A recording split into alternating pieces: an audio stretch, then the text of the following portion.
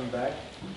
It's a pleasure to have uh, Amie Wilkinson uh, from University of Chicago. She's going to tell us about asymmetrical diffeomorphisms. Thank you. Thank you, Mahmoud. I, uh, I'm very happy to be here. Um, I want to thank, obviously, the organizers and the Graduate Center for inviting me. I also want to thank HEO Canary for kindly agreeing to move their talk so I could speak now. Unfortunately, I have a family emergency and I have to leave after my talk. I was really looking forward to the other talks, but um, maybe they'll be recorded. I hope so. Um, I also apologize for the lack of abstract. Um, I did write an abstract, but then Ara was a little nervous about posting it on the website. It was supposed to be approved by Dennis. I don't I know. approved it. You did? Oh, okay. Well, here's the abstract. It's, it wasn't an insult. I will discuss the result with Bonatti and Crovisier from 2009, showing that the C1 generic diffeomorphism F of a closed manifold has trivial centralizer. I'll explain to you what that means. Um, I'll discuss features of the C1 topology that enable our proof. Uh, the analogous statement is open in general in the CR topology for R greater than 1. I'll also discuss some features of the proof and, depending on how much Dennis interrupts me, some recent directions of my work treating the non-generic. Well, I'm glad you approved it. I didn't think you would be insulted by that. Um, and, you know, I have, a, I actually have a, a lot to thank Dennis for. Um, back when I was a graduate student in 1992, I approved my first, I guess it was my second, but um, I, I approved something with Charles Tresser. And um, Charles asked Dennis if um, I could, or maybe Lisa Goldberg asked Dennis if I could speak in his seminar, and he very generously um, agreed to invite me. And um, it still exists. The talk was recorded. It still exists on the internet. It's kind of embarrassing, but um, I was very green. Uh, but I still remember part of the talk when I thought like my proof, my entire proof had fallen apart and I was just standing there like, wait, something's wrong and I can't figure this out. And Dennis reassured me and said, don't worry, you've gotten this far. It's, it's right. It's to be fine.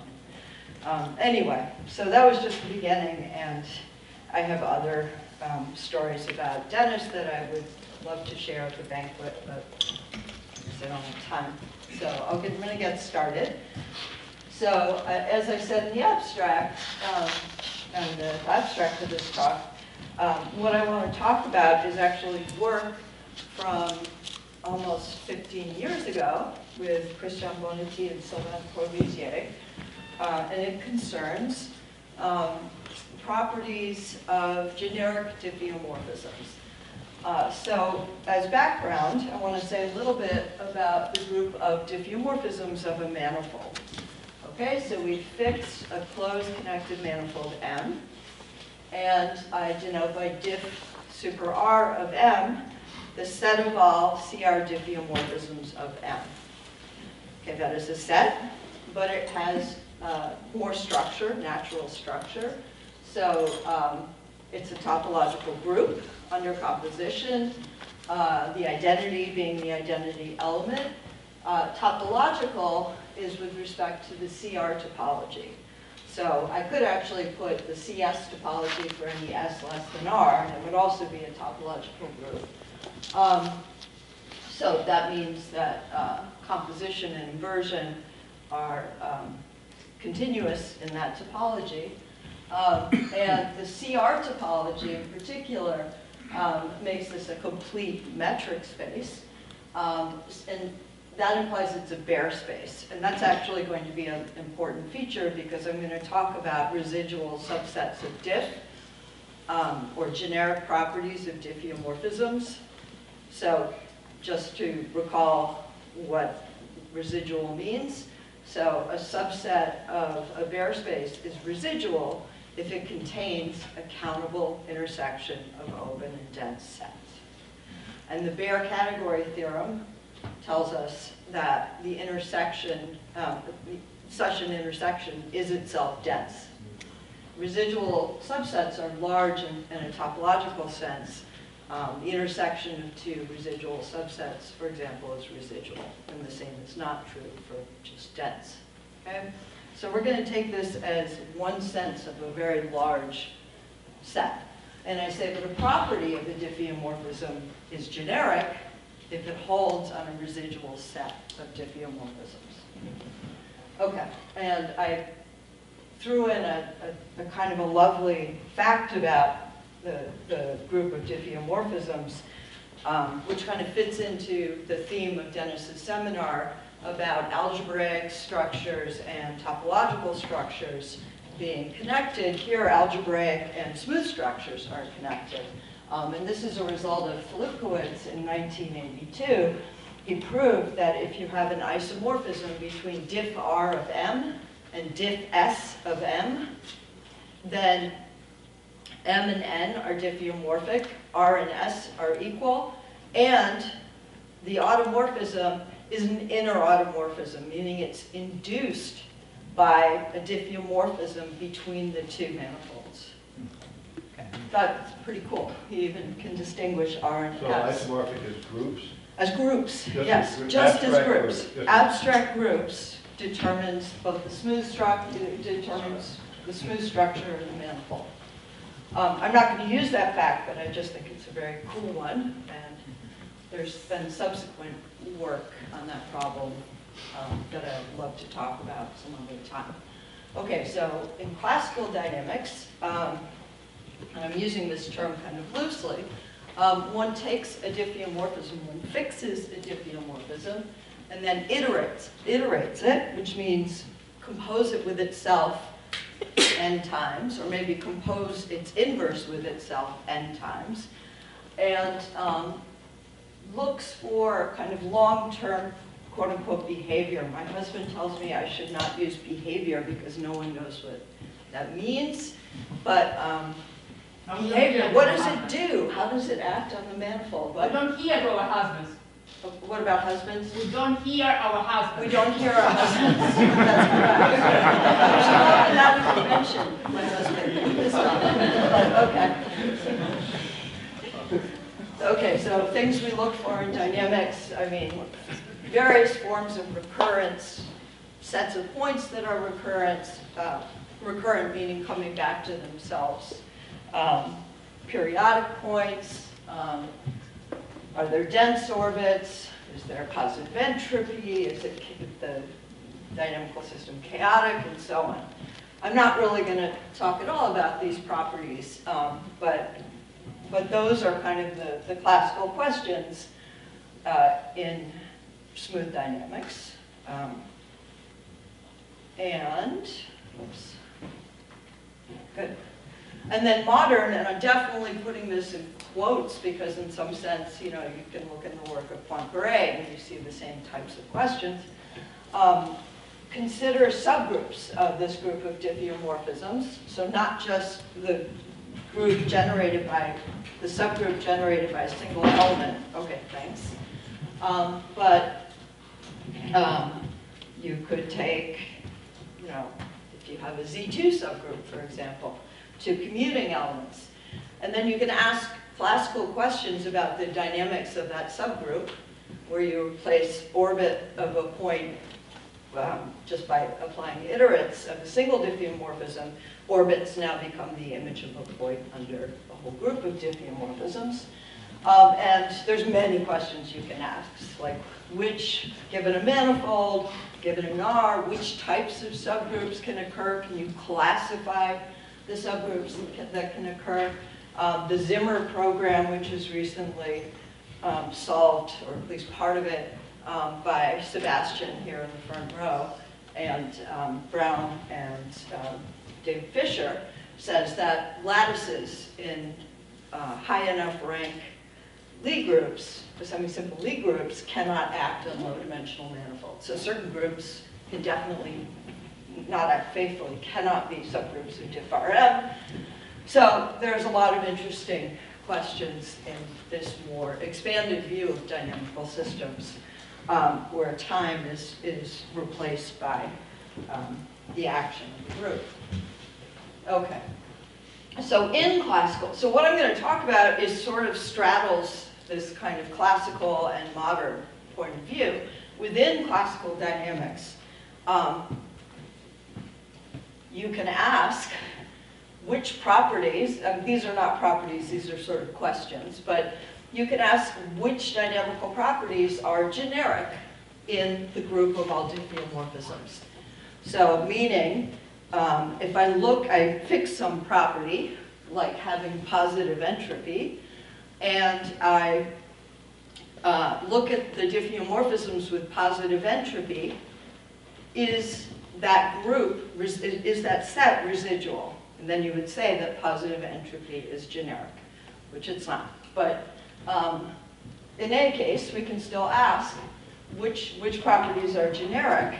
That's a pretty tall order because you're asking like that the typical diffeomorphism have some property. Like what, so if you think about it, like some property would have to be kind of very random, right? Um, but even some properties that seem naturally like very random, like if you know what ergodicity is, ergodicity with respect to volume in the C, given the manifold, in the C high enough R topology, that is not a generic property. So um, in any case, there is one well-known generic property, sorry, uh, and that's um, a property about periodic points. And so it says that for any manifold and for any R, generically, in the space of CR diffeomorphisms, um, the periodic points are isolated of a given period. Um, so there's finitely many. They're all hyperbolic. And it actually says something about their stable and unstable manifolds. They have to intersect transversally. So I'm going to come back to stable and unstable manifolds hopefully later in the talk.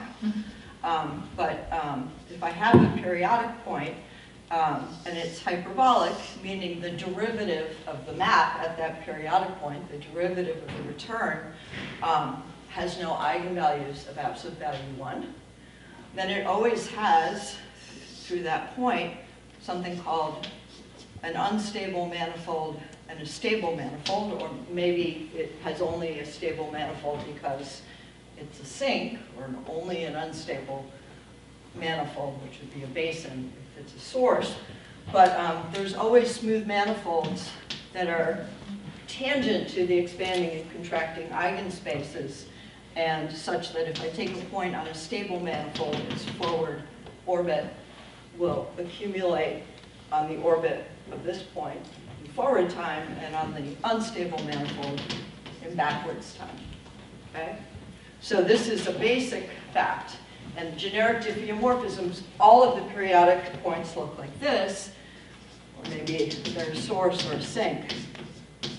And even more so, if I have two periodic orbits and I look at the stable of one and the unstable of the other, they will intersect generically transversely, which they could not intersect at all.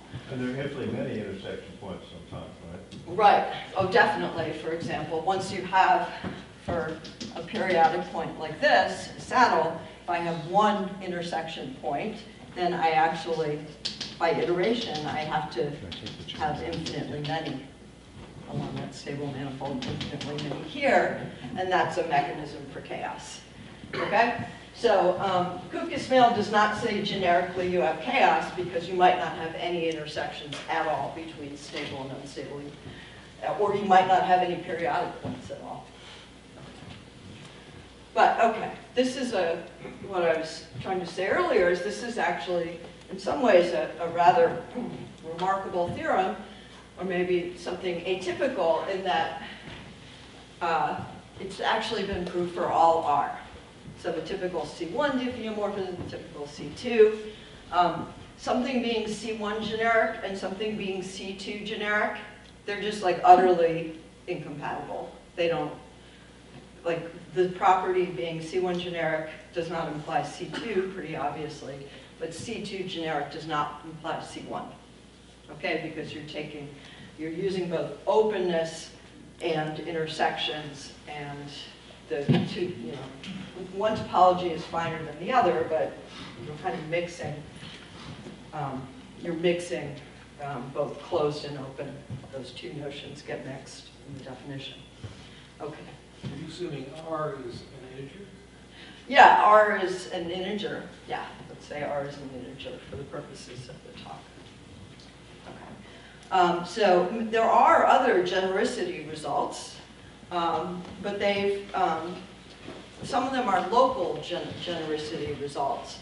Or you might say, generically, you have this behavior or this behavior, that kind of thing.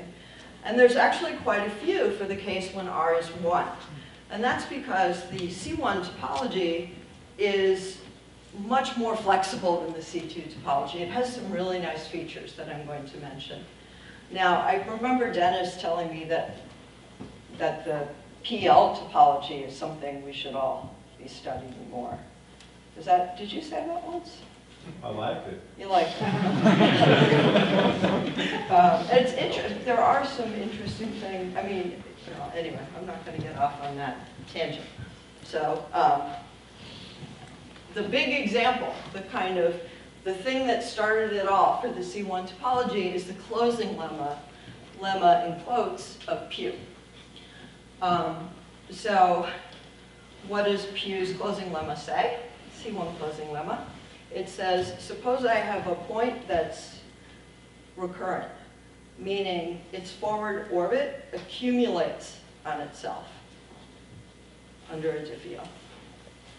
The closing lemma says by a C1 small perturbation of F, so arbitrarily close in the C1 topology, there's a map where that point is actually periodic. So you take an orbit that's almost closed and you close it. Okay, so this sounds like, um, when you first hear this theorem, it sounds almost like, well, that shouldn't be hard. Um, because why don't you just take your point, um, it comes back close to itself and just, just locally just move the point uh, a little bit over so that the image, instead of coming close to itself, actually hits itself. Um, The problem is that you can't do that necessarily uh, in a C1 small perturbation. So here's an example. This is an orbit. If you want, you can think of this as an orbit of a flow, or maybe it's, it's just a rendering of, um, uh, of an orbit of a diffeomorphism by a curve. And so here I have a, a recurrent orbit. It's recurring along those horizontal lines. Um, and let's focus on the region of recurrence. And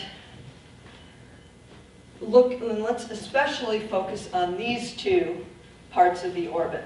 And you'll notice, if you trace things around, that if I were able to connect this part of the orbit to this part of the orbit, I would close the orbit.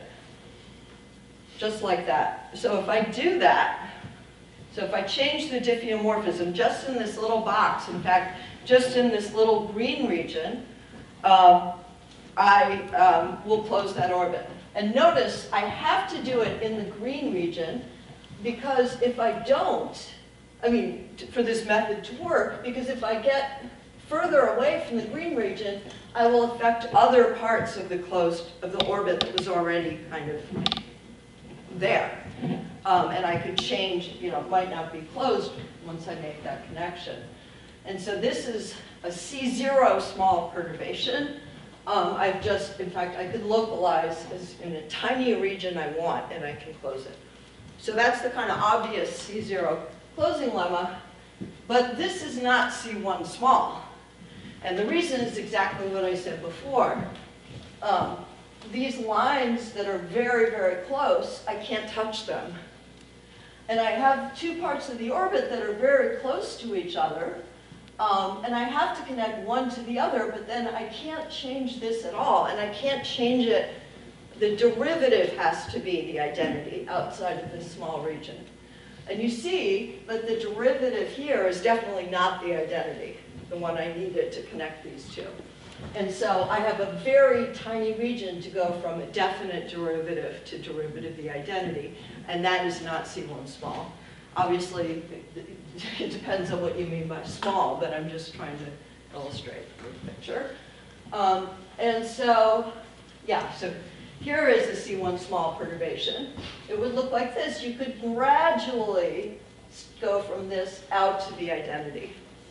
But then it no longer has a closed orbit, okay? No closed orbit.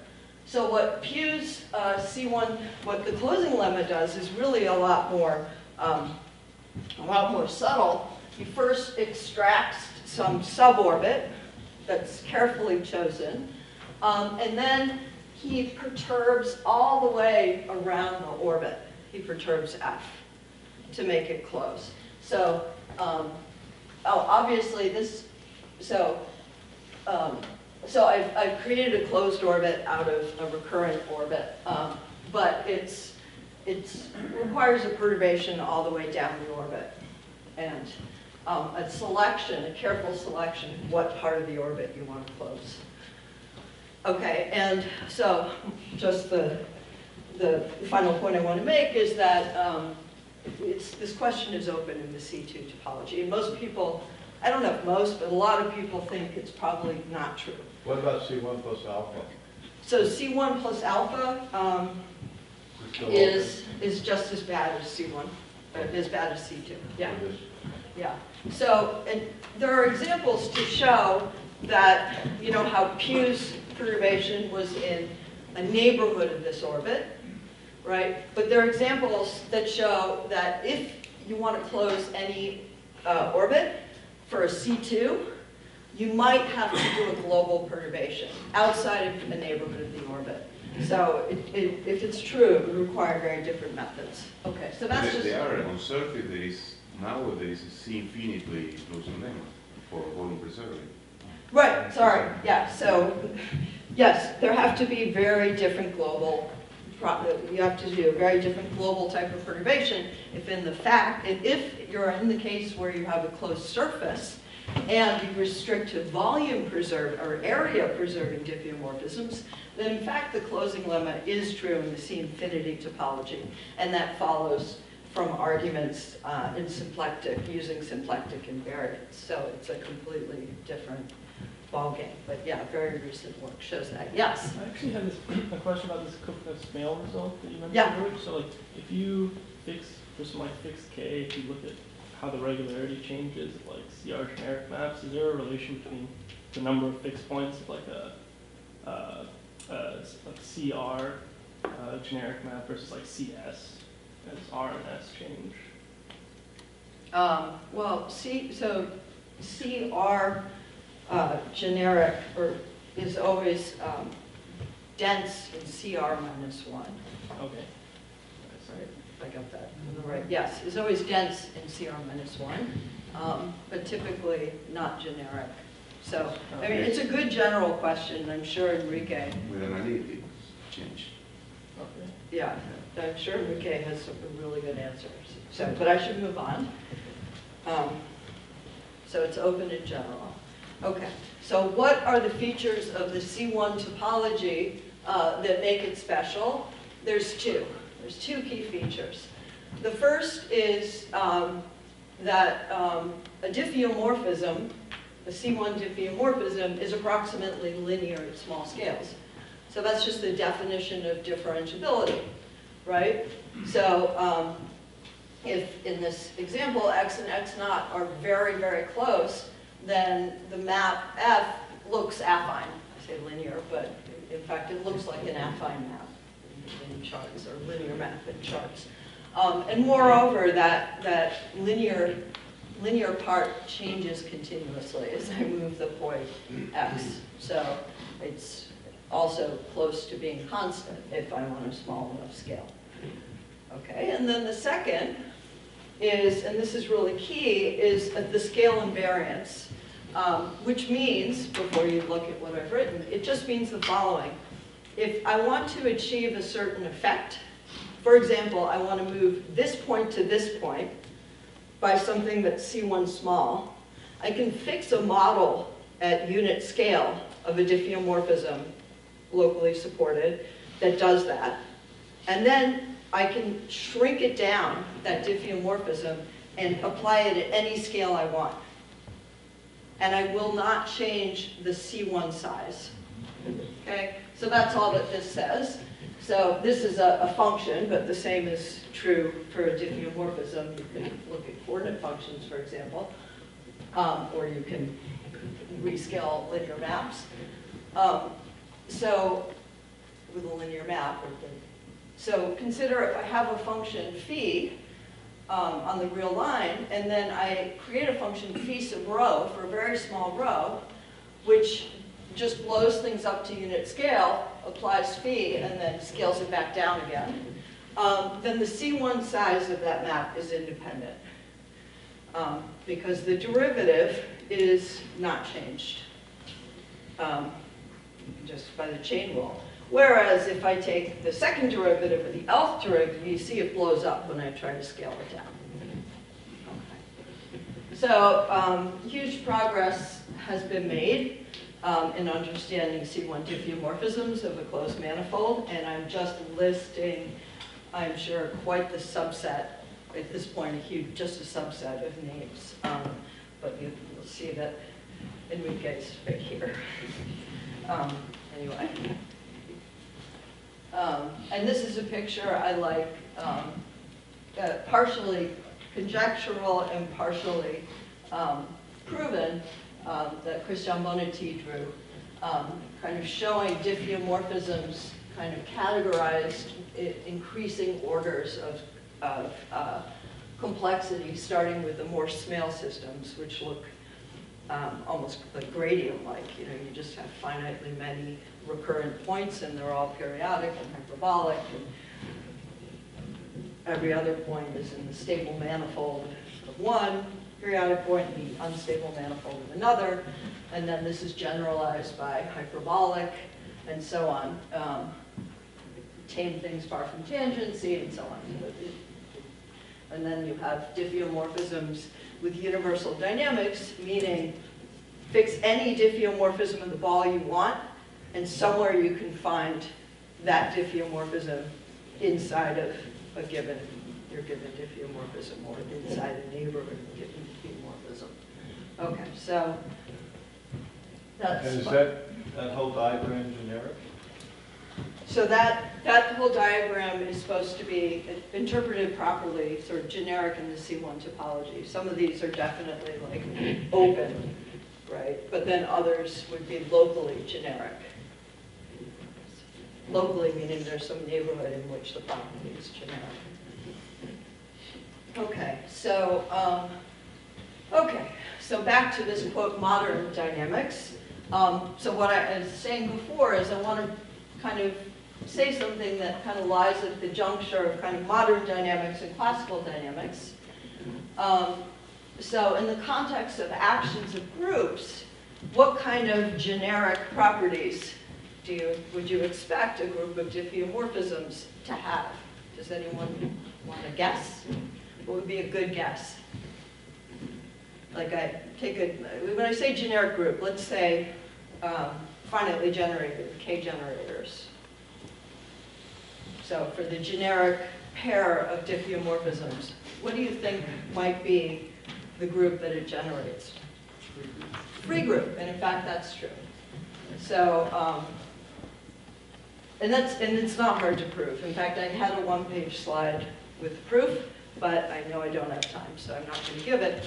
But um, there's an argument um, in Etienne Ghys's book, Groups Acting on the Circle, that show that if I take, if I look in the space diff cross diff cross diff cross diff k times, in that space, if I take a generic tuple, the group they generate is actually free. There are no relations, and you can think about that. Okay, so here's a kind of, as I said, there's kind of a mixed, this is a little bit more of a mixed question. Um, let's fix a generic F and then ask, does anything, what commutes with F? What's the centralizer of F in the group of diffeomorphisms? Okay, so I'm given an F, and I'm looking for the G is the set of all G such that G composed with F equals F composed with G. Okay? That's a subgroup of the group of diffeomorphisms. How big is it? Well, first of all, what's the significance? Well, these diffeomorphisms you can think of as symmetries of F. It's a smooth change of coordinates that takes you back to F. It- it's something that preserves the orbits of F, for example. And so, Smale asked, uh, probably a long time ago, um, whether the generic diffeomorphism should have trivial centralizer. Just meaning that the only things, obviously the iterates of F commute with F, right? So F is a self, uh, kind of an inner symmetry, if you like. Um, but Smale asked, is it true generically, I was very vague about this, um, is, um, is the centralizer going to be trivial generically? You think that sounds so similar to um, the question of the generic, does the generic generate a free group? But in fact, it's completely false. For example, that for the generic F, every G other than the iterates of F will generate a free group with F. I mean, you can find very small groups. I mean, that's totally false. So, but anyway, so this is a question about symmetries, and his student Nancy Kopell, so he obviously had been thinking of this question for quite a while. So back in 1970, his student Nancy Kopell proved that for the circle, uh, in diff R, for any R at least two, in fact, the generic F does have no symmetries, no non-trivial, trivial centralizer. Okay, so this is the question that I referred to in my abstract. Um, and, and this is the result that I referred to um, in my abstract. Oh, I should say, um, since then, 1970, there have been partial results uh, addressing this question. So Palis and Yoccoz famously proved this, um, kind of the analog of Kopell's result for axiom A, like diffeomorphisms, so hyperbolic diffeomorphisms generically. Um, in fact, open densely in the CR topology for R at least two. Um, in that class, so sort of locally, generically, you have trivial centralizers.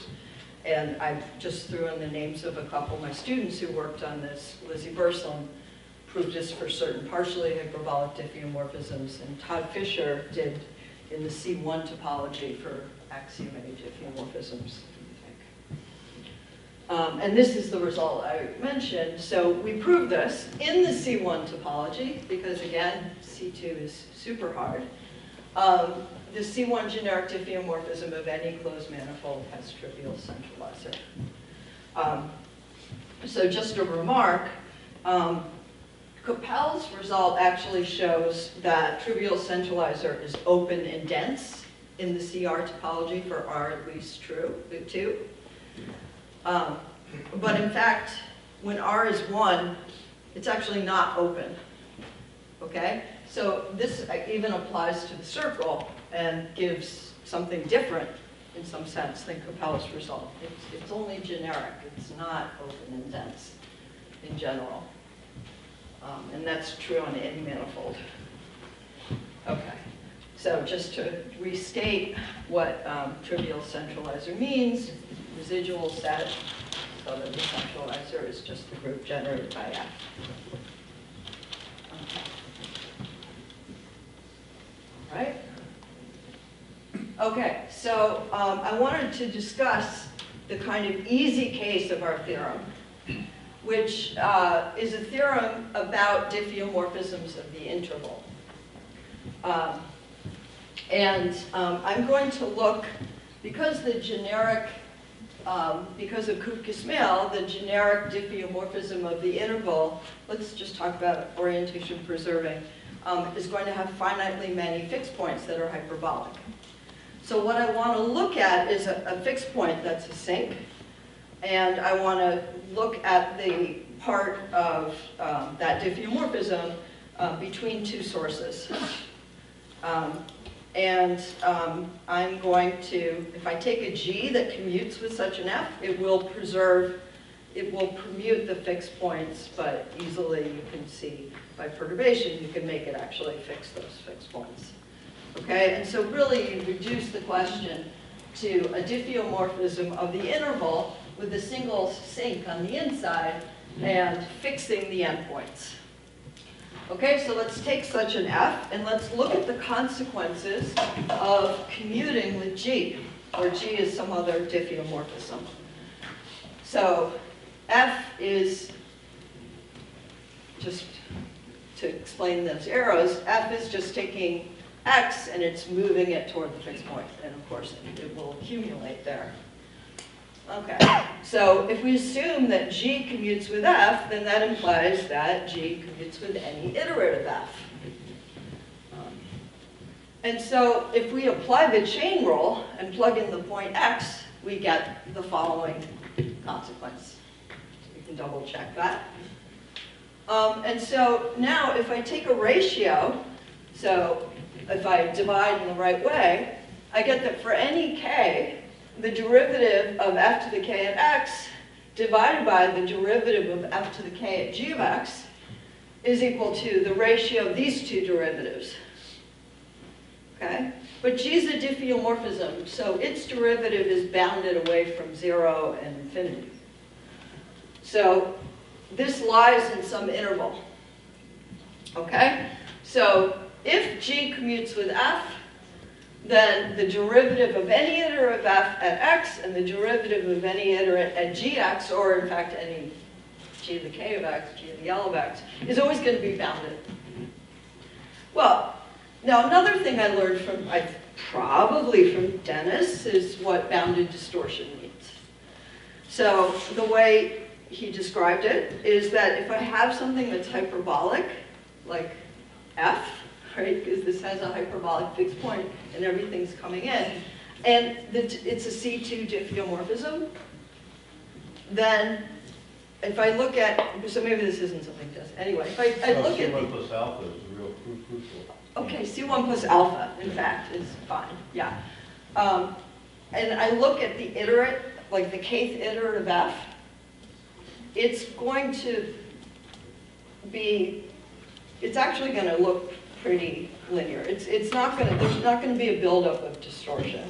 So if I were to color an interval for C2 diffeomorphism, if I were to color it with crayon and apply f to the k, um, it would still look like it was pretty evenly covered, colored with crayon. You wouldn't see these dark and light bits, you know, where, where the derivative is concentrated. The derivative is almost constant um, on small enough scales. Okay, but someone asked, well, what about generic properties for C1 versus properties for C2? Generically, C1 diffeomorphisms do not have this property. Okay, well, let me say what I mean by this. So clearly, if g of x is equal to, let's say g of x equals x, well, clearly this is going to hold for any g, right? Because the ratio is 1. If g of x is some, is like f of x, then this is also going to hold. It's going to be bounded for all k. If g is some iterate of f, if g of x is f to the l of x, then actually there's no contradiction in a statement like this. You can check the chain rule. But if I take this C1, I should have said C1 generic, F actually has the unbounded distortion property, unlike C2 diffeomorphisms, which have bounded distortion. And so what that says is if I take any pair of points in the interval, if the ratios of the derivatives are, bounded, of, of the iterates are bounded for any iterate, then in fact, x and y lie in the same f orbit. So why is this true? I'm not keeping track of time. So th- the reason this is true, well, you have to exhibit a countable intersection of open and dense sets that has this property. So um, I, I'm not going to go through that construction, but essentially, you can kill this property at least for a given k, you can kill the property, this property here. So for a given k and c, um, and a given interval, you can kill this property by, by doing something to f to the k of the interval, changing things there. So there's a way that, and all the further iterates, all the iterates up to f to, up to the k, sorry. And so just by like making the derivative kind of bumpy enough, I can, I can make things as distorted as I want. And I can do that for any k by very small perturbation, and the reason is I can insert C1 small perturbations at arbitrarily small scales. So I, you know, I have F, and as I get smaller and smaller scale, I can make the same type of perturbation, which compounds itself and makes the derivative unbounded. So I can do that as long as um, my, my pair of points aren't actually lying on um, the same F orbit. So that's, that's a key fact and very simple. Okay, so how do we go from this really baby fact, um, which is kind of interesting in itself, to the full result on C1 diffeomorphisms? Well, we have to know uh, what is the structure of a C1 generic diffeomorphism. And this is going to use um, the results of quite a few people that I mentioned before. Um, uh, the, one of the very important ingredients is by the collaborators, uh, Sylvain and Christian. Um, so suppose this is my manifold, um, and okay, I'm just going to blow it up a little. Yes. Okay. Um, and so I'm just drawing, I'm depicting the periodic points for this diffeomorphism. And uh, the larger the period, the smaller the points, right?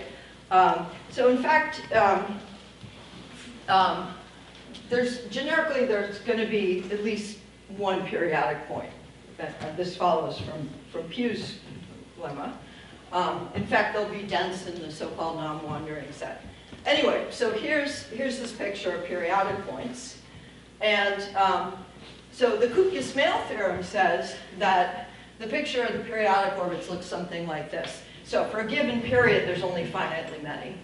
Okay, so you have to go deeper and deeper in the period to see more and more of them.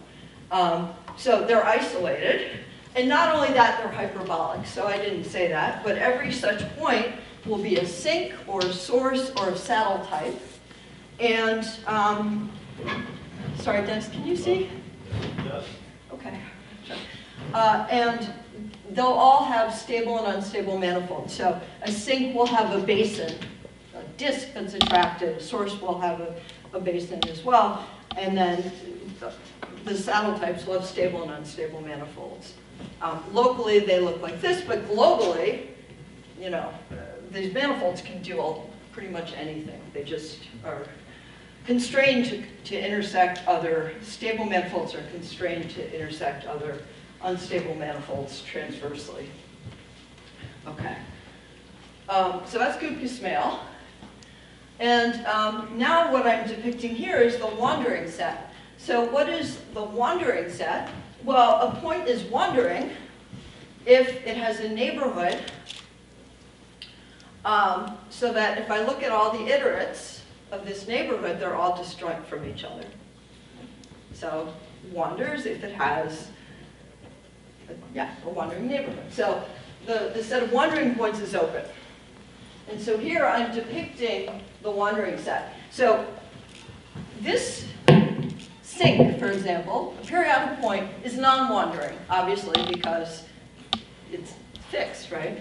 But everything in the basin of a periodic point wanders. Uh, I'm sorry, of a sink wanders because I can put a, na a neighborhood, small enough neighborhood of a point, the iterates are disjoint. It's, it's, it's wandering off to the fixed point. Um, and so there's, but there's also parts of the non-wandering set that, you know, move around. They just never come back. And then, of course, there's the basins for some of these, for the sources and the sinks. Okay, and so the complement of the wandering set is a compact invariant set known as the non-wandering set. And what Pugh proved is that this is a consequence of, of Pugh's closing lemma is that generically, again, C1 generically, periodic points are dense in this non-wandering set. Okay, so obviously you can't get periodic points in the wandering set. This is impossible because you'd have to come back to yourself. But then in the complement, periodic points are dense. So this is a very powerful consequence of Pugh's theorem. Um, and now I want to look at the interior of the non-wandering set. Okay? It's, an, uh, it's a compact set, but it might have interior, right? So I'm breaking it into um, components. So now you see we have some connected components of the interior. Um, and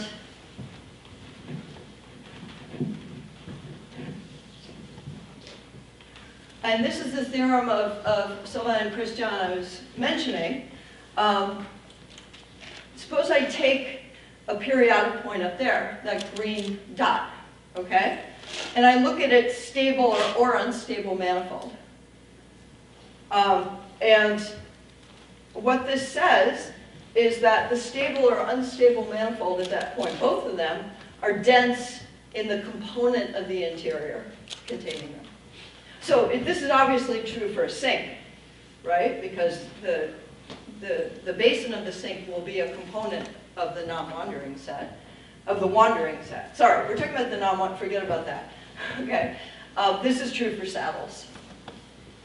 Um, but not sinks and sources, this statement doesn't make sense. But this is a, a, oh, well, no, it does make sense, sorry. If I have a sink, the component of the non-wandering set it, it, containing it is the sink itself. And that's because it's surrounded by a wandering basin. So in fact, it's true for any of these points. Okay, so you have sort of that kind of picture. Okay, now let's think about that kind of picture and let's look at that point that's in the non-wandering set, that periodic point, and look at its, say, um, let's look at its stable manifold. Well, what are the dynamics on the stable manifold? The dynamics are pretty much the same as the dynamics we saw in the baby case, where we had, it's not an interval, but we have a, a map contracting toward a fixed point. And so what we can prove along this manifold is that generically, now of course you have to be able to consider perturbations that extend outside of the stable manifold itself, but that's not hard, that generically we have this unbounded distortion property on stable manifolds. So I hope it sounds kind of reasonable. If we could do it on the interval, we could do it on the disk. If we could do it on a disk, we could do it on, we only have to do it locally, right? We can do it uh, uh, on a stable or unstable manifold. Okay? So generically, we have the unbounded distortion property for points, all points on the stable manifold of uh, a periodic point. Okay? And, well, it's dense in this component, and so, uh, well, first of all, that implies that F is a power of G. I'm sorry, G is a power of F on the stable manifold. But then the stable manifold is dense, and so G is a power of F um, on that whole component. Okay, so this is the sort of outline of the proof. So um, the first part is what I just outlined. Um, so we can also do it, by the way, for points that are wandering by a very similar, probably even easier argument. You can make unbounded distortion. Okay. So this gives that for the generic f, if f and g commute, then on each component of the interior of the non-wandering set, which is dense in, um, in the non-wandering set, and for each component of the wandering set, we have that g is a power of f. Okay? So together, the the, non, the wandering set plus the interior of the um, wandering set is an open and dense set in the manifold. So now we have something where on each component, G is a power of F, but, but we don't know what power, and that power a priori can change. So this is, this is the difficult step, and I'm just gonna blow past it. But this is actually, I would say, the more difficult step, is just to show that um, L should be constant. It's enough to show that L, Li, these powers are bounded uniformly. Um, and so we do another perturbation. We have this generic set. We perturb again so that um, the derivative of iterates is a little different from unbounded distortion. We show that the derivative of iterates of f blow up on every single orbit. Every single orbit um, in this, um, of this diffeomorphism. So to, to ask that this happen for every orbit is a, turns out to be a dense property, but um, it's not a generic property. Okay, I have a couple more minutes, this is good. So it's not generic. So now we've found a dense set of F with trivial centralizer. How do we get generic? So in a lot of, a lot of properties that you encounter in dynamics, like ergodicity, for example, if, if I look inside the appropriate space of diffeomorphisms, it's a G delta. It's a countable intersection of open sets. And so if it's dense, then it's a dense G delta. So if I were to show that ergodicity was dense in a group of diffeomorphisms, then it, it would automatically be residual. But um, that is not the case. The property of having trivial centralizer is not a G delta. So um, we have to do something else, um, and it involves looking at um, um, it, it involves looking at the map that sends F to its centralizer, where its centralizer is a subset.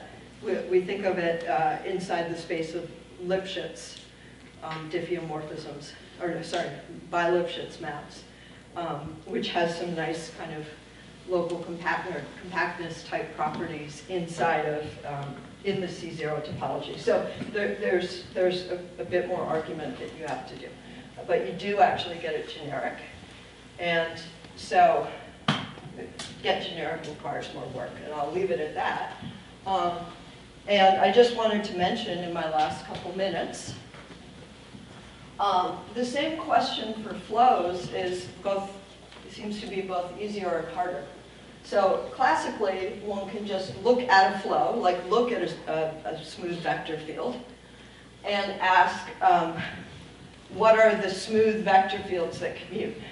Which is to say, what are the smooth flows, which is to say, what are the vector fields that bracket um, to zero with that vector field? And this is a, this is a classically studied question, um, even studied somewhat more recently. Um, and the results are kind of what you would imagine, and it's a much easier problem, as it turns out, for flows than for diffeos. But here's a hard question. Given a smooth flow, a generic smooth flow, what is the set of diffeomorphisms that commutes with it? Is that set of diffeomorphisms trivial? So we're not necessarily looking at um, things homotopic to the identity, so orbits can be permuted. Um, but even if we look at things homotopic to the identity, they probably don't embed in flows. Um, so very recently, some young people um, proved that um, if I take a C1 generic vector field, um, then the centralizer is, well, it preserves orbits, completely preserves orbits. So uh, centralizer is contained in the set of reparameterizations of the flow, um, but not constant time, not just multiples. Um, except on surfaces where W. Obata proved that, um, that in fact, um, the generic vector field, um, the generic flow um, in the C1 topology now, uh, again, we have to use C1 topology, um, its centralizer is trivial in the, in the sense that um, it's just some speed up or slow down of the flow. Um, There's a sample of further questions. Um, Just to throw out some questions. Um, You know, look at the set of pairs of diffeomorphisms that commute. What is the topology of that set? I don't know. I mean, it's closed, You can say that, but. um, And, yeah, so this, this is another question. So as I said, it's not, the set of diffeos with trivial centralizer is not a G delta. Is it even a Borel set? And if you look in like the measurable category and you ask the same measure preserving, um, I think Matt Foreman proved that it's not a Borel set. It's an analytic set, but it's not a Borel set. What's the interior? Does it have interior? Are there diffeomorphisms that stably have trivial centralizer? There, obviously, it, it's not open. I just said that before. It's never open. Um, and then, I guess, Dennis, you didn't interrupt me enough, so I didn't have a chance to say what I've been doing recently, so. You didn't make any mistakes. I just made mistakes. I've given this talk before. Um, so um, with Daniela Dam- Damjanova- Damjanovic and Disheng Xu, we've been looking at the question, what if I have a diffeomorphism with large centralizer? What can you say about it? So for example, a diffeomorphism whose centralizer is the entire group of diffeomorphisms is the identity. And a diffeomorphism, you can completely classify the diffeomorphisms where the group, the diff, where the centralizer acts transitively on the manifold. Again, complete classification, the manifold is a torus bundle over another manifold, and um, the diffeomorphism fixes the fibers and acts minimally on the fibers, some power of the diffeomorphism. Complete classification. Um, but then there are all these beautiful classical examples of diffeomorphisms that have non-trivial centralizer, namely the affine diffeomorphisms of compact homogeneous spaces. Because these, um, like for example, if I consider um, left translation uh, by a group element here, then everything that centralizes that element inside of the group, for example, if I had the center of the group, an element of the center, everything that centralizes it also centralizes that action, the, the, the element by left multiplication. So here's like a general question that I don't know the answer to, but fix an automorphism of a homogeneous space. Assume it's ergodic, you have to do that or this would be false. And now perturb it so that I have a diffeomorphism. If the centralizer is isomorphic algebraically, that they have the same centralizer, are these, is this diffeomorphism diffeomorphic or smoothly conjugate to something, to an affine in the algebraic centralizer? And so we've proved this um, for certain examples. Um, and we're still working on a lot of other examples. So right now, I mean, there's sort of no way you can prove it for all examples, I think, but um, we've developed a lot of methods. Um, but so what we do is we, in the space of diffeomorphisms, we, we identify the highly symmetric systems. Another example are flows are highly symmetric systems. Um, in fact, we look at a special kind of flow and also flows geodesic flows in negative curvature. And then our, our aim is to prove that when you perturb, you have a precipitous drop in symmetry. So the, the centralizer drops. But if it stays the same, you have a form of rigidity, some form of rigidity. Either you're smoothly conjugate to the original, or um, some of that structure is preserved some of the, the smooth structure that you had in the original system is preserved. Okay. So what happened with rigid rotations? So What rigid happens with what? Rigid rotations. Rigid Rigid rotations. rotation, the centralizer is large. Right. But So what do I have to say about, no, no, no, rigid rotations, correct. Um, So do I need to add, what do I need to add? Oh, I know what I need to add. Yeah, there's a really important thing. I, it, not just ergodic, but partially hyperbolic.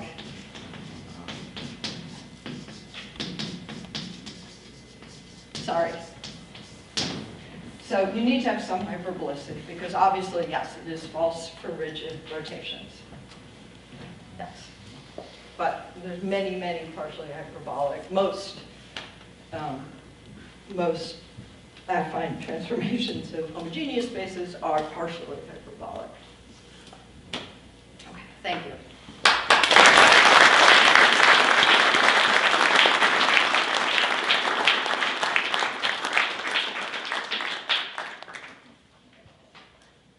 We have time for a few questions. So, uh, you mentioned the, so in the case of the result Nancy Kopell, Yeah, for CR are larger than two, so you are in the exactly the opposite where you have a lot of distortion. Right. So what is her argument? That it's not going to be your argument of this? Oh, what's, yeah, her argument it's uses bounded distortion, right. So again, you can, by Kupka-Smale or whatever, you can essentially reduce it to the situation where you're on an interval fixing two, well, in this case, an interval fixing two points, so you have a contraction, or you can do it from both sides. Um, And then, the, um, your, your diffeomorphism, um, I'll make sure I say this right, but I think that bounded distortion implies that your diffeomorphism embeds in a flow. Um, A C2 flow that's C1 at the endpoints.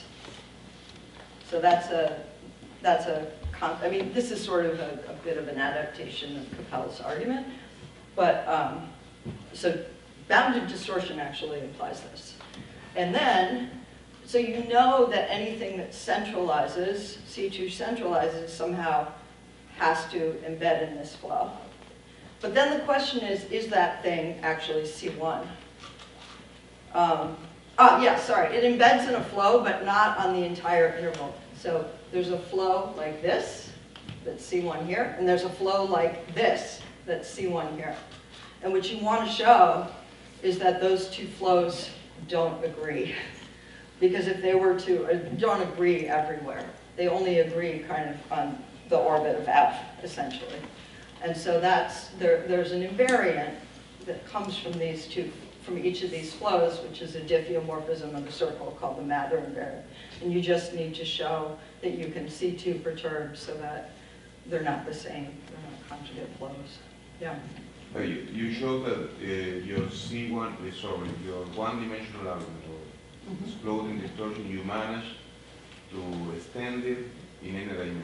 Yeah, So would it be some universe, some constant, some set of diffeomorphism where this type of argument, CR, can be pushed in higher dimension? well, but you have bounded distortion. Yeah, exactly. So then you use the Kopell argument.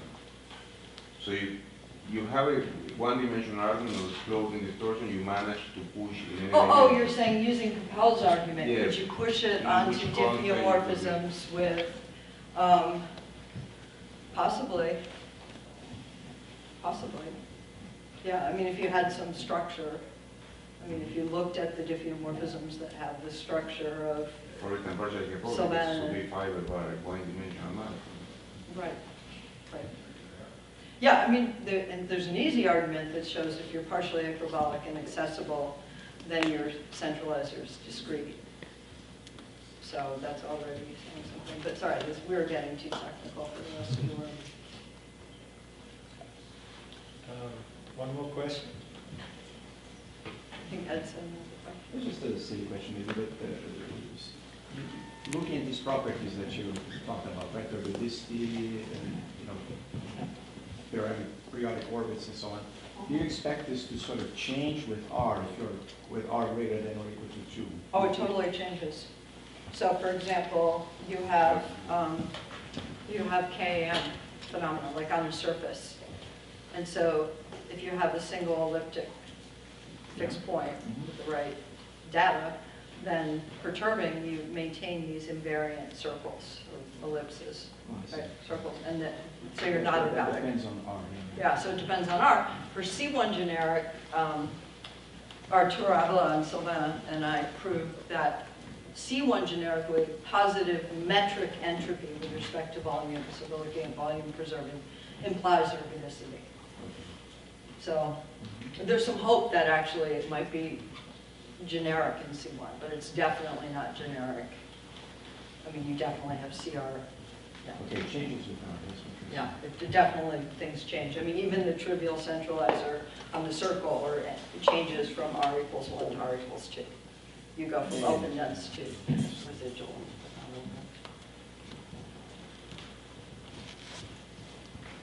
Any other? Okay, well, this, yes, sir. Uh, Let's change R to K, so we know it's an integer. Okay. Okay.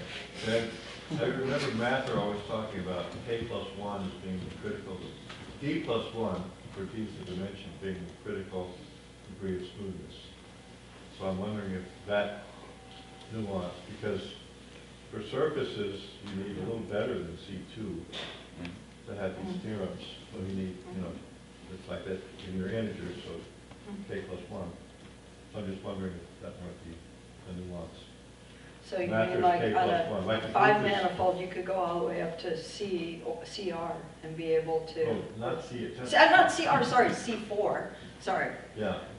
You could go all the way up to C4 and maybe expect to see the genericity as well. Yeah, it's just, it's just that, Because you have enough directions in which you can kind of violate. right. And I think you have theorems about the simplicity of the group of diffeomorphisms, that then K plus one was the critical in, Mhm. in the argument. So there, Yeah, it relates to your question of group theory structure. right, Okay.